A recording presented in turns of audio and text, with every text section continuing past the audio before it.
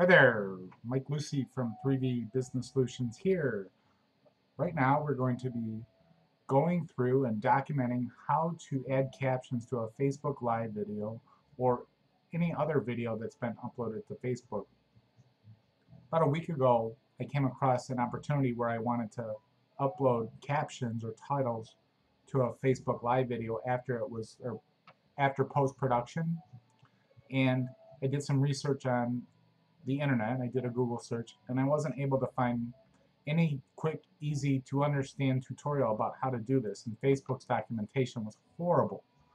So what I decided to do was create a quick five minute tutorial about how to upload your own what's called SRT or subrip file to Facebook for any live video or video that you've published. So step one,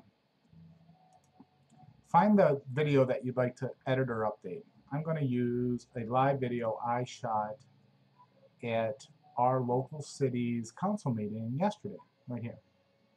First thing you need to do is click this date timestamp right here. This will open the video in theater mode. You must be doing this from a computer not your phone. Unfortunately, you can't do it from your phone. Next thing you do is step two, select options, edit this video. Then this screen will open. Within here, what I recommend you do is go through and update all of the metadata that's associated with the video so you can tag people that appeared in the video and give it a title.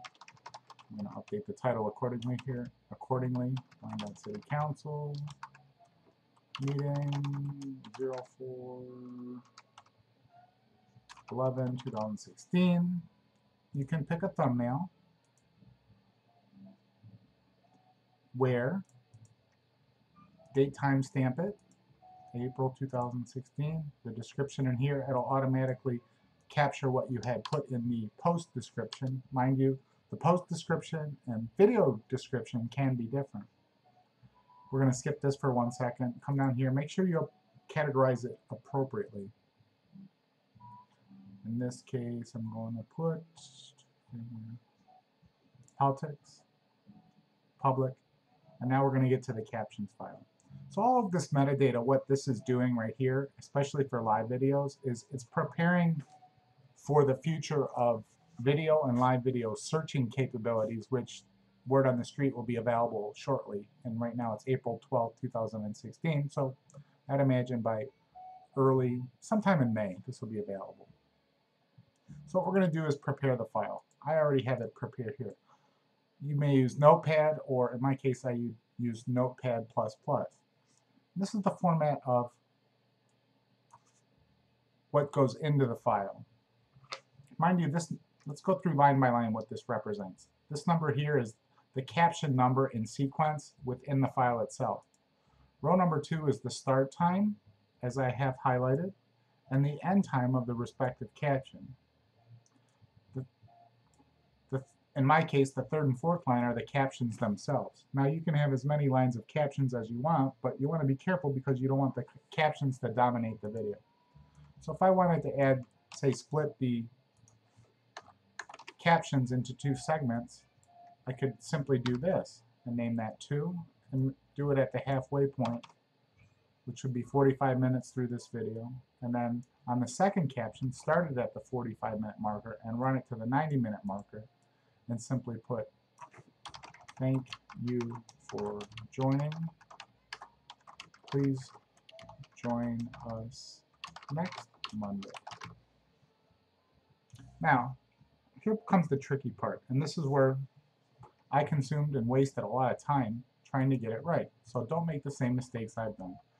You want to save the file as, this first portion of the file name, you can make it whatever you want. I have my own little naming conventions. But at the end of this file name, pretend you name it that.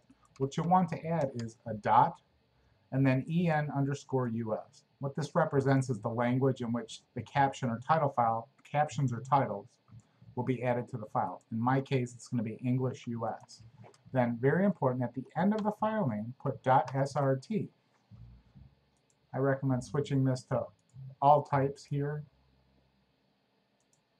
and then save the file.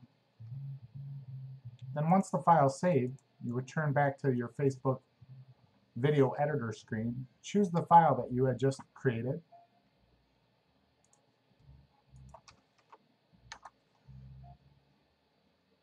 take one second, there it is.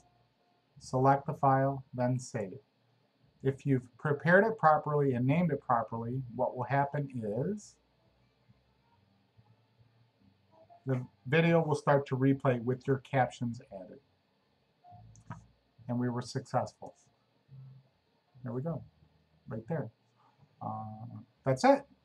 Um, I hope this was helpful. I, my intention is to save you a lot of time and pain. If you have any questions, reach out to me. Michael Lucy at 3V Business Solutions. My phone number is 734-224-8220. You can reach me via my website, 3vbiz.com, on Facebook, Twitter, or LinkedIn. I once again thank you for watching this. Have a great day. See you next time.